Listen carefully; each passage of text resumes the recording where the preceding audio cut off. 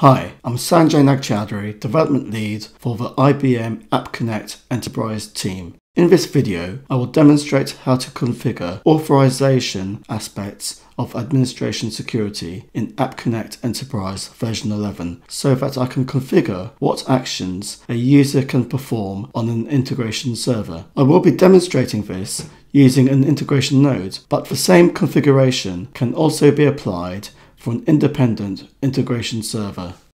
I'm using a Linux system and I already have an integration node. In my previous video, I configured the integration node to use basic auth and HTTPS so that a user ID and password must be supplied in order to perform administrative tasks. I will update the configuration of the integration node so that I specify a role for a user ID and configure what tasks can be performed on different integration servers for that role. First, I will create a user ID called admin, which uses a role called Sanjay role. The integration node can be configured using a configuration file called node.conf.yaml. This is located in $mqsi registry slash components slash name of integration node. I will edit the file node.conf.yaml. I will specify admin security is active for authorization and the authorization mode is file. The file has a section for configuring authorization for admin security. You can add stanzas for your integration servers and specify what permissions are available to each role. In this example, I'm configuring Sanjay role to have read-only access to server 1 and full access to server 2. I'll save and close for file.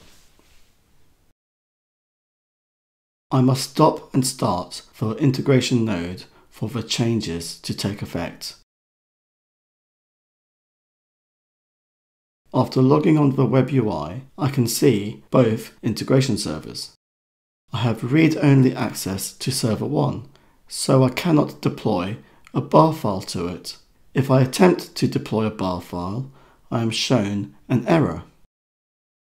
I am able to deploy the bar file to server 2 as the role that I'm assigned has full access to server 2.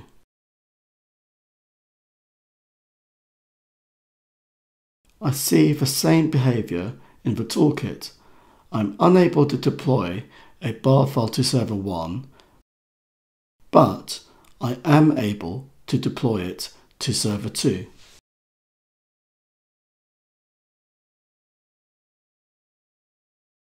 In this video, I have shown how to configure authorization aspects of administration security in App Connect Enterprise version 11 so that I can configure what actions a user can perform on an integration server. I was unable to deploy a bar file to server 1, but I was able to deploy a bar file to server 2.